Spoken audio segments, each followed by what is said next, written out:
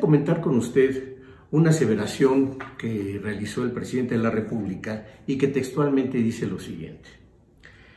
Estamos dando una lección al mundo con nuestro comportamiento ante la pandemia del coronavirus. Para poder reflexionar acerca de eh, la intención del señor presidente, le proponga a usted analizar dos vertientes de los hechos que se gestan a través de la acción de gobierno.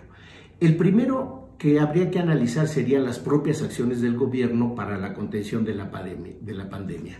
Y en ese sentido, habría que reconocer que la sociedad está expresando su inconformidad Ahí lo dicen las encuestas, no es una opinión tampoco personal, sino está sustentada específicamente en el resultado de encuestas realizadas por consultores independientes, en donde una gran parte de la población manifiesta su inconformidad ante las mismas, particularmente por lo que estamos viendo cotidianamente.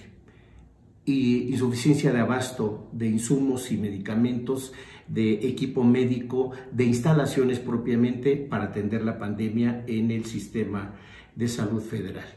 Pero por la otra también la expresión de demanda eh, que realiza el personal de la Secretaría de Salud, del Instituto Mexicano del Seguro Social, hasta ahora el ISTE en menor medida, en donde los médicos, enfermeras y personal administrativo demandan contar con la protección necesaria para atender esta pandemia. Por tanto, eh, en relación a la aseveración que hace el, señor presidente al respecto, pareciera que la sociedad no coincide con él respecto de la estrategia que eh, se ha llevado y por tanto del eh, ejemplo que supuestamente estamos dando al mundo. Pero fíjese usted, yo quisiera también resaltarle otro hecho.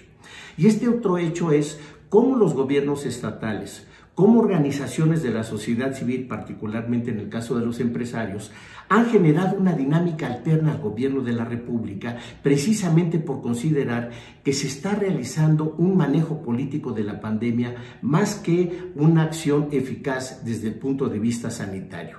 Y este asunto que está corriendo dentro del, eh, dentro del país está llevando ya a planteamientos incluso de rompimiento del pacto federal. Varios gobernadores que no reciben apoyos económicos del gobierno para enfrentar la pandemia están reclamando la posibilidad de revisar el pacto hacendario.